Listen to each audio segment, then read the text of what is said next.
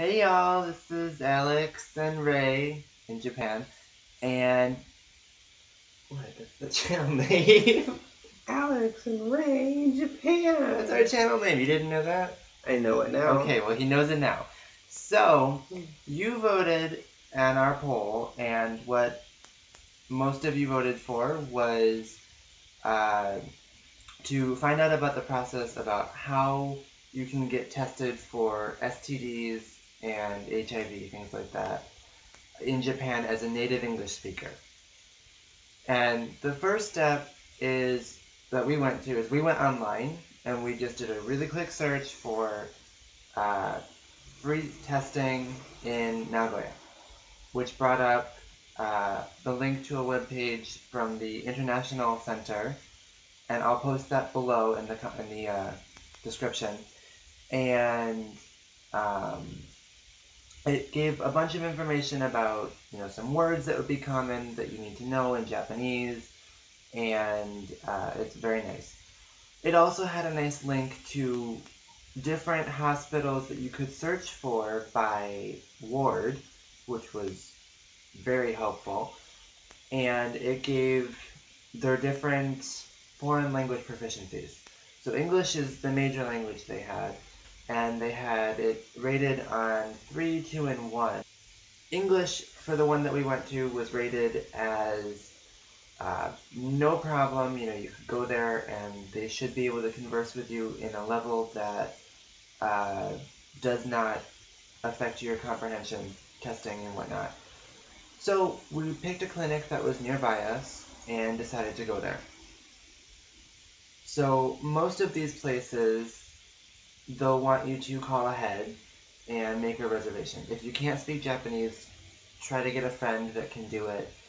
Um, we decided to just go ahead and make the appointment in person. We went down to the clinic, and the first interesting thing we were told was, oh, we don't take reservations. It's a first come, first serve basis. Okay, so we'll come back on the day that we want to actually get this test done. So we came back on Wednesday of that week and got the test done, which involved a certain amount of paperwork. You know, it was our first time at the clinic. Um, that part wasn't too bad. Was a little surprised uh, because they knew that we wanted to get tested for STDs. They decided to tell us, "Oh, we want you to pee into a cup." It not was, just any cup. No, not just any cup. A Dixie cup. Yes, it was a special Dixie cup that had lions printed on it. And I have to say in full disclosure that the woman that was showing us these cups ended up dropping at least one of them while she was trying to show it to us on the floor. I'm pretty sure she threw it out afterwards. But um, anyway, so I ended up doing that and submitting my urine sample to these people.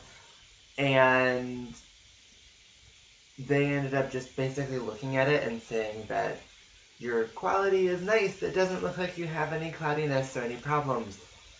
So I was kind of like, why did you have me do this? Yes, I'm going for an STD test, but you can test this by blood.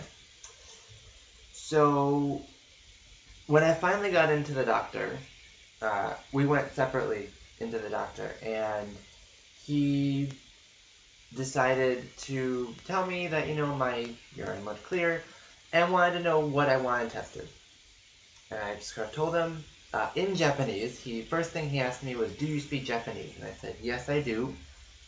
Um, so then I saw kind of immediately he kind of went, "Oh." I don't have to try to speak English to this person, so a little red flag went up that yes, this place was supposed to speak English, but up until this point, none of the people spoke any English to us really at all. It was no problem, and I ended up telling the guy, look, I want to get an STD test. Just doing this, you know, as a precautionary measure because it's a healthy thing to do. What? How many STDs are there? A lot. because he asked you. He asked me. He said, now which one do you want to test for? And he proceeded to list a few of them, and there were some that I recognized, some that I didn't. Uh, prominent ones were chlamydia and gonorrhea, and I just said, well, you know, I don't really know. I'm just sort of getting tested. And he goes, okay. Um, well, when was the last time you were sexually active with a woman? Never. And I stopped him there. Thank you. I stopped him there and I said, I'm not with a woman, I'm with a man. And he goes, Oh. And I see him kind of pause for a second. And to his credit, he just sort of plowed right on. He said, Well, if you're with a man, the biggest problem is probably going to be uh, HIV and AIDS. And I said, Yes, can we test for that? And I, I don't know, I, I feel like I kind of would have liked to have been able to run a test that tested for more than one thing, but I know that they would have had to take more blood, and that also costs more money. Um, the doctor was nice enough to explain to me that there was a clinic I could go to because we are on national health insurance. That if we go online and figure out the days, I post the link to the website for this below in the description. If you go there, it's free. I, said, well, thank you very much for explaining this. We really want to get this done by you. That's why we came here. Uh, so let's go ahead and get it tested. By the way, I brought my partner with me. Uh, he speaks no Japanese. I saw him kind of tense up a little bit. I said, but I can translate for him what you just said to me. He goes, okay. So then Ray walks in the room, and what was your impression of the doctor? I thought the doctor was nice, older guy. Mm-hmm. That uh, drew our blood was, at least with me, uh, sort of nice, sort of chatty, but not overly so. You know, I thought that she was good in a clinical way. Um, she had a lot of trouble finding my veins because apparently I have thin skin, and I know you can't see that at all here, but uh, I have very thin skin apparently. She tested both my arms and had to sort of not stick me multiple times, but sort of had to move the needle around quite a bit. Thankfully, Ray, uh, she was able to get him on the first jab, and I was kind of not in the room, but I was in the hallway, sort of looking, and I was leaning, kind of ready to translate if she needed any help. Um, but he was a champ going through it, getting his blood drawn. Talk about the nurse not wearing gloves handling HIV blood. The nurse that was drawing our blood didn't wear any gloves of any sort, which, I mean, in the United States, apparently it's not a law exactly, but every single time I've ever gotten blood drawn, they have always worn gloves. And every health class I've ever been in was like, if you have to deal with blood, wear, wear gloves. gloves. Um, she didn't have any slip ups, like, you know, she didn't get any noticeable blood spurting anywhere. She uh, didn't prick herself with the needle. But given the fact that she was testing for HIV and she was aware of this fact, you'd think that she would have been a little bit more cautious with this. And, um, oh, what was the other thing? Oh, also, when she was trying to stick me with it, she kind of was pulling on the plunger and then she couldn't get it to go, so she put it back down. I kind of freaked a little bit in my head because I was thinking, oh my gosh, she's gonna be putting air into my system. And I know that that's supposedly not good for you, although she wasn't in a vein, so maybe that had nothing to do with that. So we were prepared. Uh, we brought some. Um, it's called Calorie Mate. It's a nutritional, like a nutritional bar with us because we knew that we were getting blood drawn and we didn't know exactly how we'd react to it. Um, so we were prepared and brought that with us. They did not provide any form of water uh, after this. For the urine test, I did ask them if they could give me some water, and they gave me a little tiny teacup full of water, and they gave one. They didn't provide anything in the way of, here you just have blood drawn, let me give you this cookie, let me give you this juice, which I know they do at least when you're getting uh, when you're donating blood in the States. I don't remember if phlebotomist does that. It's been many years.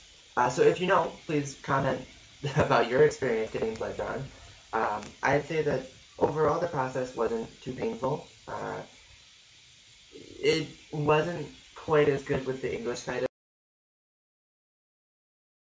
Um, as far as the clinic, it was very late 1980s, early 1990s. Everything was like old stacks of paperwork everywhere. It was creepy, y'all.